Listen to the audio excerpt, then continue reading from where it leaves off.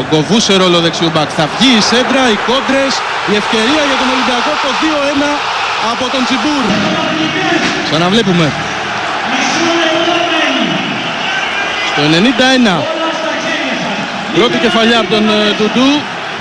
Ο Τσιμπούρ είναι και ο Πάντελιτς πάνω στη φάση που ίσως να επηρεάζει τη φάση.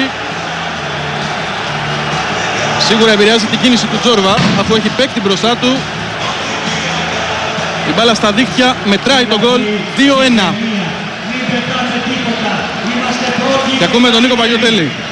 Αποβάλλεται ο Τάσος Μητρόπουλος επειδή μπήκε μέσα στον αγωνιστικό χώρο.